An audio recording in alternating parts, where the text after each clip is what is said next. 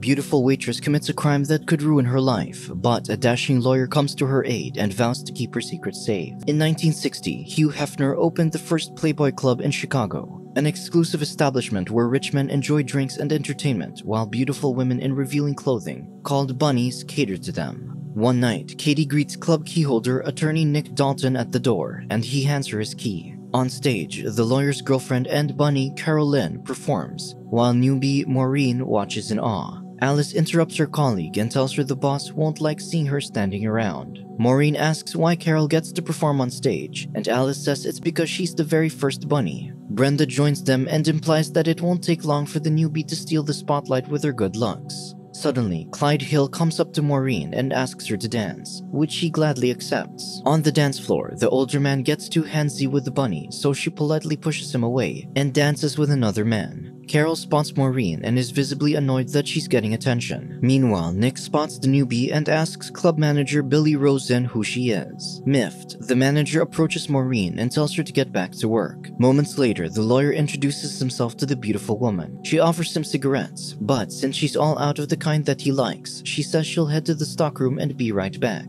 After Carol finishes her song, she speaks with her boyfriend and congratulates him on his latest case. In the stockroom, Clyde follows the unaware Maureen. At the bar, Nick wonders what's taking the bunny so long. Meanwhile, the pushy man won't take no for an answer and moves to kiss the woman. She pushes him away, but she falls to the floor as she tries to escape, and the man gets on top of her. Fortunately, the lawyer enters the stockroom, sees the deplorable act, and grabs the man off Maureen. After a brief scuffle, Clyde resumes his assault on the lady, but she's able to kick his neck with her heel, severing an artery, and the man perishes. Horrified by the events, the woman says they should call the authorities. However, Nick explains that although most people know the man as Clyde Hill, a respectable businessman, his real name is Bruno Bianchi, head of the notorious mob group The Outfit. The lawyer is aware that they'll be disposed of if anyone finds out what they did. While he figures out their next step, the woman wipes her bloody hands on her clothes, picks up Bruno's key, and places it under her clothes. Nick grabs car keys from Billy's drawer, and later they load the body into the trunk.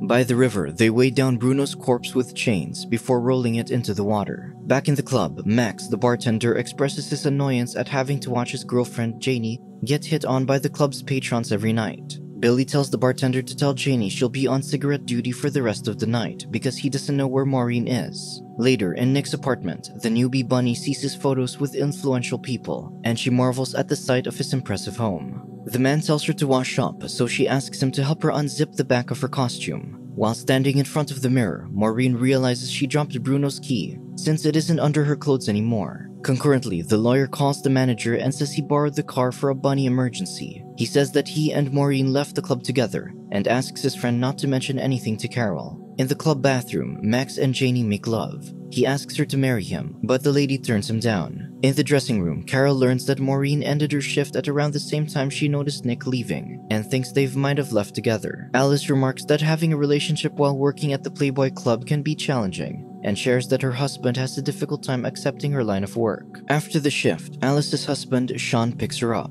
and she informs him that she made $143 that night. He asks how long they can keep their little operation going, and she says until she slips up. In the apartment, Maureen finishes washing up and joins the lawyer in the kitchen while wearing one of his shirts. He hands her the money he found in Bruno's suit and advises her to leave town for her own safety. She refuses the money and says she's worked too hard to get where she is and that she can take care of herself. Seconds later, Carol arrives, so Nick tells the newbie bunny to hide. The girlfriend gives her lover a kiss, but stops when she spots Maureen's clothes on the counter. Hurt, she heads to the closet to grab her things, but to her surprise, she finds the woman hiding. Nick and Maureen try to explain their situation, but the furious woman doesn't want to hear their excuses. Soon, Maureen returns to the Playboy mansion, where she lives with the other women. Brenda deduces that she was with Nick, since she's wearing one of his shirts. The next day, the lawyer arrives at the club to return the car. When he enters the manager's office, he hears Billy's phone call with Clyde Hill's wife. After the call, he admits to not telling the woman that her husband was at the club last night,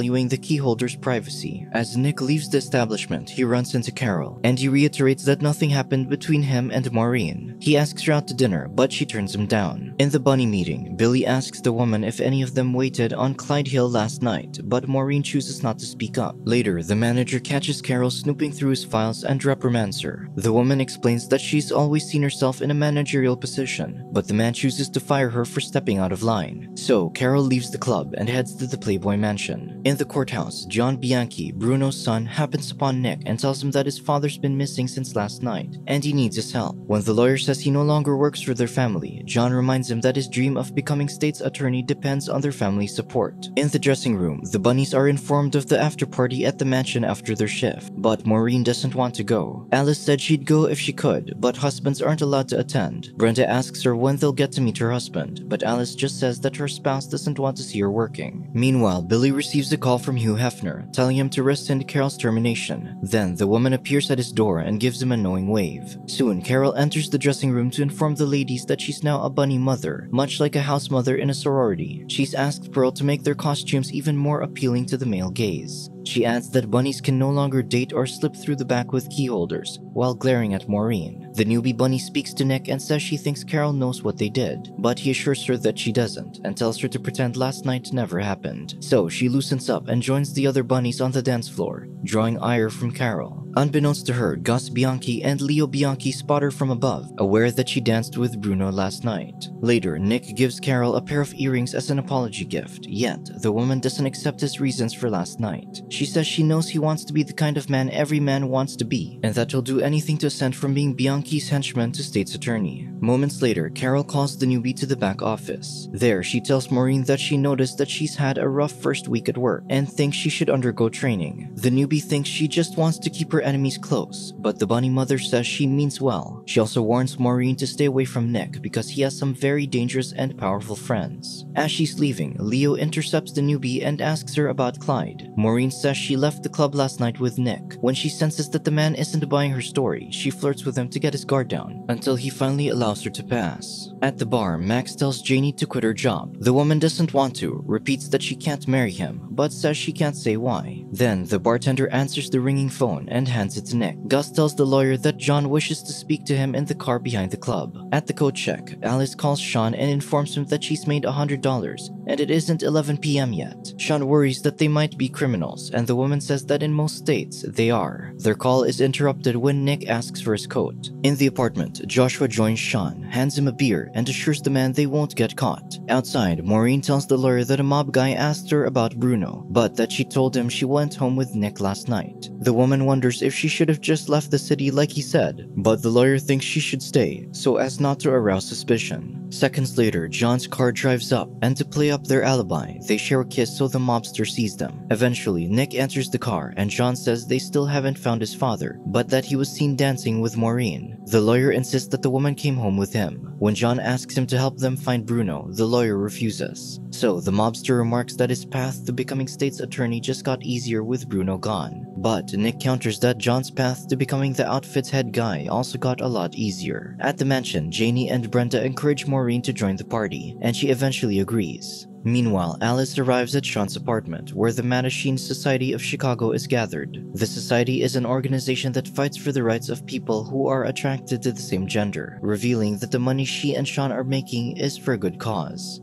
There she meets another member, Sally. By the river, a man finds Bruno's club key that Maureen dropped. That night, the man who found the key takes a friend and hopes it'll be enough to get them inside. In the dressing room, the bunnies learn that Hugh Hefner is auditioning five Chicago bunnies to be on the cover of the magazine. Maureen and Brenda are excited about the opportunity, but Alice says she can't participate because her husband won't allow her. Janie also says she won't audition, confusing her colleagues. But the woman refuses to elaborate why. On stage, Carol performs an upbeat song and dance number while Nick watches from the crowd. Moments later, while speaking with Billy, Nick expresses his desire to win Carol back. When the manager says it'll be a tall task, especially after Maureen, the lawyer reiterates that nothing happened between them. Then, the manager informs him that word on the street is that Bruno Bianchi's dead. While that means good things for the city in general, he fears that the power shift within the mob might affect his club's business, especially since John's already frequenting the establishment. Then, the mobster gestures the lawyer over to his table. By the entrance, the two men's ploy worked, and the key allows them access. Meanwhile, Maureen sees Clyde Hill's name on the board by the door, reminding her of the harrowing experience. She then sees the two men who entered using the dead man's key. Concurrently, John, once again, asks Nick to help find whoever's responsible for his father's disappearance. However, the lawyer reminds him that he's worked off his debt to their family, and he'd rather not get involved in the mob boss's search, especially when he's about to announce his candidacy for state's attorney. Maureen interrupts the conversation and asks to speak to Nick. She points out the two men who got in the club using Clyde Hill's key, and he asks how they got it. The bunny admits she found the key in the stockroom and must have dropped it by the river. Concerned, the lawyer says they need to get the key before the men speak to the authorities about where they found it.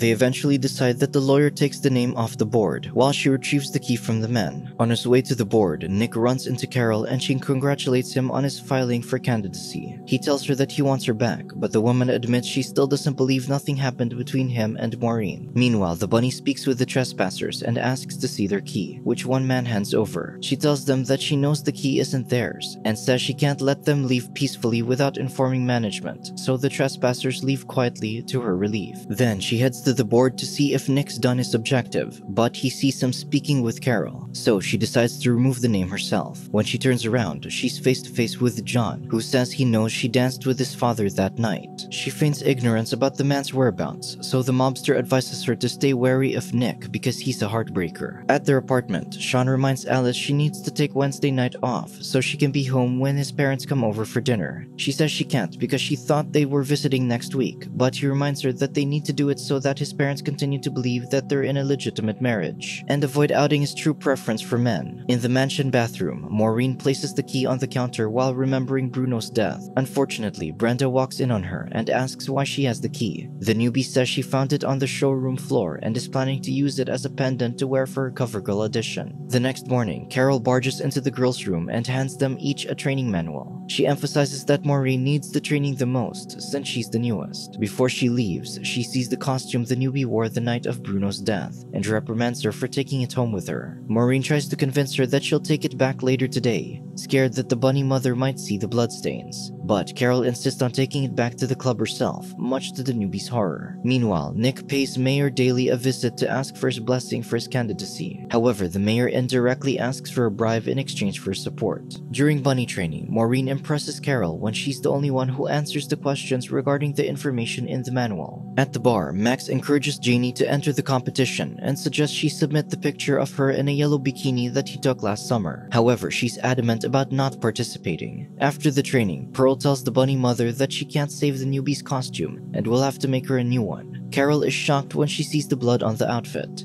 Later, Carol speaks to Maureen about the blood, so the newbie makes up a story about a vagrant assaulting her while she was on a smoke break outside the club. She says the vagrant punched her, which caused her nose to bleed, hence the stains. She adds that Nick ran the homeless man off and took her to the apartment to clean her up, and she insists that nothing happened between them. Carol seemingly believes her story and commends her for doing well at bunny training. Elsewhere, Nick pays John a visit and says he'll help find Bruno. In exchange, he wants one of the mobster's sports cars. Later that day, the lawyer returns to the mayor's office to drop off a gift. When Daley opens the box, he finds the keys to the sports car and a note from Nick. In the dressing room, Carol presents Maureen with her newly dyed red shoes to match her bloody costume, which she had pearl dye red as well. That night, Alice takes Maureen's pictures for her application for the cover. The woman seems clearly conflicted trying to hide her attraction to her beautiful friend. Meanwhile, Carol sees the flowers from Nick in her office and he insists that he wants her back. The two then share a kiss and make love. The next day, the bunny mother announces the finalists for the CoverGirl audition, which includes Katie, Brenda, Maureen, and Janie, who's shocked because she never submitted an application. During the interview with Hugh Hefner, the other women explain why they deserve to be a cover girl, while Janie explains that the other girls deserve it more than she does. She takes a peek at the pictures on Hugh's desk, sees her yellow bikini pictures, and deduces that Max submitted them. In the dressing room, Nick approaches Maureen and tells her not to worry about Bruno and reveals that he used to be the family's fixer. Carol arrives and interrupts their conversation. She hands her boyfriend the evening newspaper with the headline officially announcing his candidacy. When he leaves, the bunny mother reminds the newbie to stay away from her man. Later, Carol announces Janie as the winner of the CoverGirl competition, much to her horror and everyone else's disappointment. Again, she says she can't do it, before barging over to the bar to confront Max. When the man asks why she's so against doing the cover, she finally admits that she's still married to an unhinged man whom she's been hiding from. He doesn't know where she is, but he has a subscription to the magazine, which will make it easy for him to find her. During the dinner with Sean's parents, Alice is horrified to learn that her father-in-law has the key to the club and invites them all to go. In the club, Alice's co-workers subtly make fun of her, knowing her in-laws have no idea she works there. Meanwhile, John speaks to Nick and says it's been a week since his father's disappearance, so he plans to spend more time at the club to keep investigating. As the men shake hands, one of the bunnies snap a picture, so Sean buys the picture and approaches the lawyer. He introduces himself and hands the photo, warning Nick that him shaking hands with a Bianchi might not be the best look, especially during the night his candidacy was announced. Nick thanks him and accepts his business card in case he needs Sean's PR services. Later, Carol informs Maureen that since Janie backed out, she'll be the cover girl. In the mansion, the newbie mentions that she only wants to be on the cover because she hopes her father sees her and finds her. In the club, John orders Gus to dig up more information on Maureen. In the bathroom, the newbie hides Bruno's key inside a tub of ice cream. Subscribe to watch more videos like this, turn on notifications and leave a like to help the channel out. Thank you for watching.